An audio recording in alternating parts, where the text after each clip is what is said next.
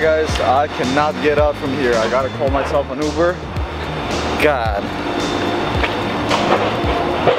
Good morning guys, so there's a road construction today and I will probably not be able to get out and I just called myself an Uber and yeah, gotta head to work. I'm probably gonna be late just because of this.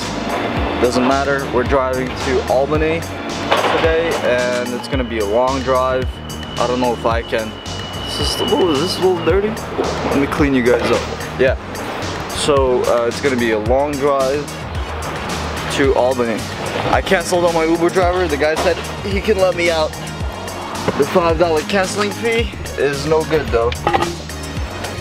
Got it done guys. So I canceled on my Uber driver. By the way, he was Russian as hell. I said, let's meet in Ditmas. He said, понятно. Понятно means basically, I got it. Yeah, sorry Russian guy. Sorry. Alright guys, so here with work in New Jersey on a construction site. so my job is basically drive to locations, scout locations, go to different states, and yeah, it's just mostly that. Uh, but now that I have like a production company that I have, I have people working with me, for me, and then in the same job, it's turning out the, the same way. All right, finally in Albany, four hours later. Not really four, two and a half hours, two and change. We're here for another site, and then we're gonna go to Jersey, and after Jersey, gonna go home, pick up the car. I probably have an event if I'm not late in the city. Uh, I hope I'm not late to that event. Uh, I just need to text. Uh, but yeah, we'll see. Albany, guys, it is. Oh my god, I've been listening to so much audiobooks on the way because it's a long drive.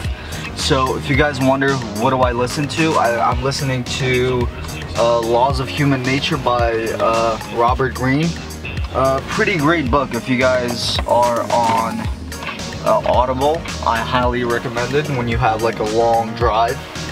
Um, you can listen to audiobooks and like get the perspective like of uh, human nature and how uh, human beings react to certain situations and how we should manage our emotions rather uh, when we get angry we shouldn't like do things um, at the point where we are driven by our emotions. Let's say somebody pisses you off and you're so angry and you right then and there call and then splurge your feelings to the person, right?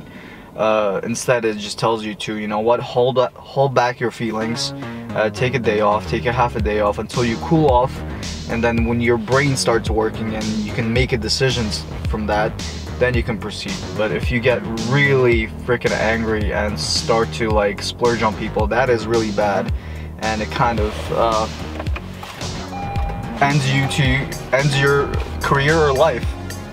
Um, yeah. So if you guys are really interested about reading it or listening to the audiobook, I highly recommend it. Alright, from Albany guys, we're like two hours away from New York City another location scout. There's like droning going on here. Uh, full day, full day of just locations quick scouting. Wow, early in the morning they were just like destroying this place and it's all back to normal within like maybe eight, nine hours. Alright guys, so finally home.